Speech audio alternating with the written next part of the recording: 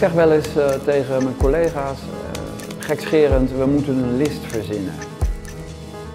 En met die list bedoel ik eigenlijk een, iets slimmers, iets wat uh, anders is dan wat anderen doen.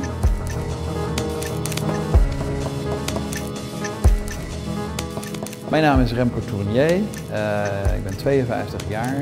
Ik run samen met mijn broer het bedrijf ICL BV en wij maken hoge temperatuurbestendige pakkingen.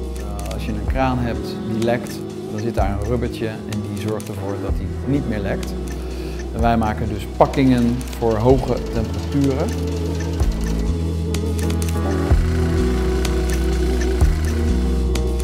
Ja, ik had een baantje bij mijn vader. Daar werkte ik met materialen en die vond ik eigenlijk een beetje slap. Uh, op een ochtend toen, uh, ik geloof onder de douche, toen dacht ik van nou als ik nou die materialen meng met siliconen, wat komt er dan uit? Nou, en dat bleek best een interessant product te zijn. En toen is het eigenlijk begonnen.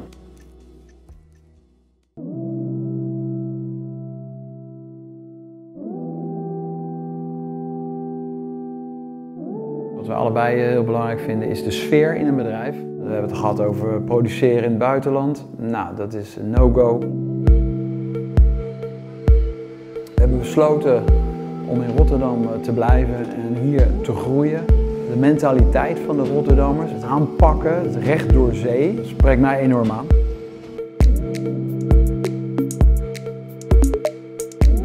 De samenwerking tussen mij en mijn broer gaat goed. Hij is heel stabiel en hij heeft hart voor de zaak.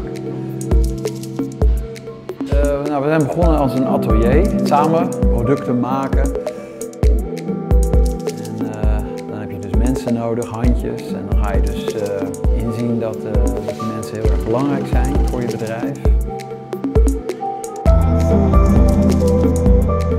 Dat ze echt een bijdrage kunnen leveren aan het eindproduct. Denk dat we een hele volwassen maakindustrie hebben. Ik durf wel te zeggen dat we een goede reputatie hebben als producerend land. En we gaan ons focussen op, op uh, nieuwe producten, nieuwe patenten. En dat is denk ik een, overgangsfase. Ik vind het leuk als grote bedrijven in de wereld ons kennen. Ik wil niet zozeer uh, naar een bepaald omzet groeien, als meer een naamsbekendheid. En dat ze weten waar wij voor staan. Dat is mijn doel voor binnen nu en vijf jaar.